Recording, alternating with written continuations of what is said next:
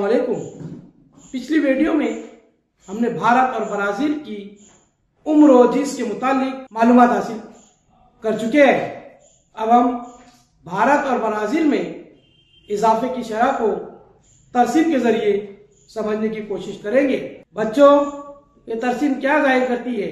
ये तरसीम ब्राज़ील और भारत में आबादी के इजाफे की शरह को ज़ाहिर करती है, वो तो ठीक है, लेकिन इस तरसीम में तो खत नीचे जाता हुआ नज़र आ रहा है। ऐसा क्यों? जी, दुरुस्त खत गर्चा नीचे जा रहा है, लेकिन इसका मतलब ये नहीं कि आबादी में कमी हो रही है। ये सिर्फ़ ये बताया जा रहा है कि इजाफे की शरह पहले के 10 सालों के मुकाबले में कम है। इसका मतलब ब्राज़ील की आबादी कम हो रही है। नहीं, इसका मतलब ये है कि आबादी में इजाफे की शरह कम है।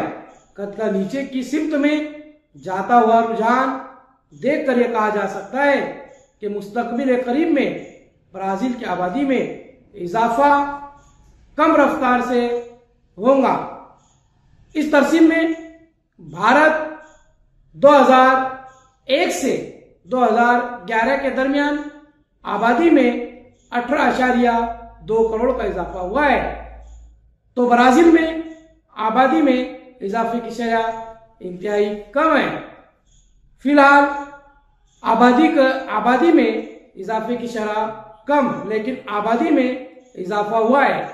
आइंदा दो दहाइयों में आबादी में इजाफे का इम्कान ब्राज़ील में बहुत ही कम है।